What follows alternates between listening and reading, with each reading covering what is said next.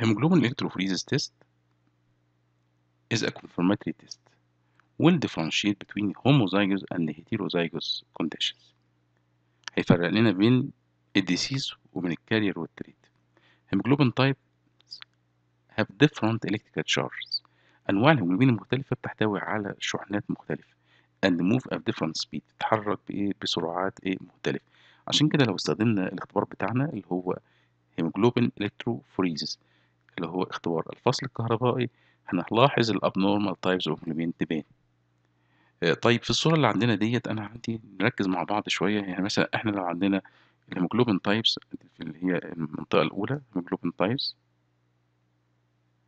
عندي فيه hemoglobin A. لو لاحظنا hemoglobin A حطيناه على شريحة في ال origin origin مكان وضع ال blood عينة ال blood تيار كهربائي مر. القطب السالب والموجب هنلاقي كل الهيموجلوبين A يتحرك. migrated بسرعة عالية. ويبقى عندي التركيبة بتاعتي ال genotype. هيموجلوبين AA وال phenotype. normal. طيب بعد كده لو شفنا الحالة رقم اتنين اللي هي هيموجلوبين S هيموجلوبين S يعني عنده sickle cell anemia يعني هيموجلوبين SS هتلاحظ في ال electrophoresis إن كله موجود في منطقة اللي هي ال S slower يكون slower نوع واحد. يبقى هيموجلوبين SS less negative compared to لل HA فعشان كده بنلاقيه بيبقى متأخر ما بيروحش ناحية القطب الموجب لأنه less negative. migrate slower برضه الحركة بتاعته زي ما قلت بطيئة ده اللي هو هيموجلوبين SS طيب النوع الثالث اللي هو heterozygous يعني عندك S و A طب وعندك S و A ده يبقى اسمه sickle cell trait ويبقى ال genotype بتاعه هيموجلوبين S مع هيموجلوبين A ويبقى في ال migration هنلاقي إن هو بيتحرك في منطقة ال S ومنطقة ال A يعني AS برضو الشريحة ديت بتوضح لنا الحركة بتاعتنا بين الايه اللي هو الكاثود والأنود. بنحط فيه power supply وعندي قطب سالب وقطب موجب. وعندي origin مكان اللي أنا بحط فيه العينات بتاعتي. وعندي بعد كده migration لل blood من القطب السالب للقطب الموجب على حسب الشحنات اللي موجودة وعلى حسب نوع الهيموجلوبين. طيب hemoglobin electrophoresis is a confirmatory test for hemoglobinopathies بيعمل لي diagnosis كويس جدا.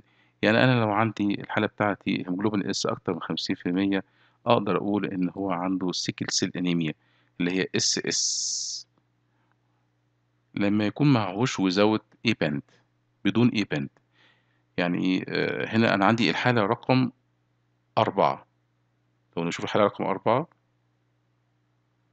كلها عبارة عن S ومفيش A band فأقدر أقول عليها SS sickle cell disease أو sickle cell anemia.